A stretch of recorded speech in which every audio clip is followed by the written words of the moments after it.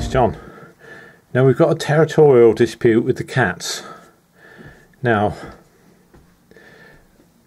our, well, Helen's cat, Mabel, is on the left. And I could hear sort of um, distress noises from Mabel.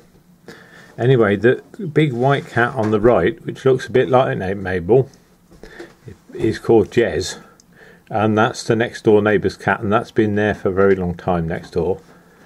But there was also a little grey cat in the next door garden, which is where Jez lives, I suppose.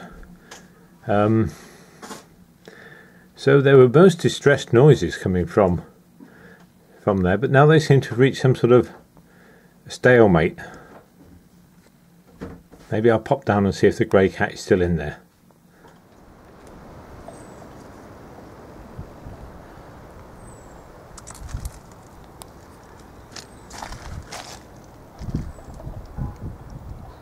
Yes, there's the one causing the trouble. That's a pretty little cat.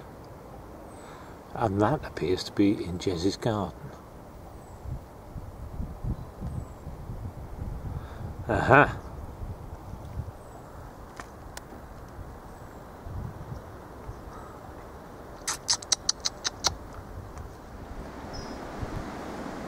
Mabel's still out on patrol and Jez is still up there.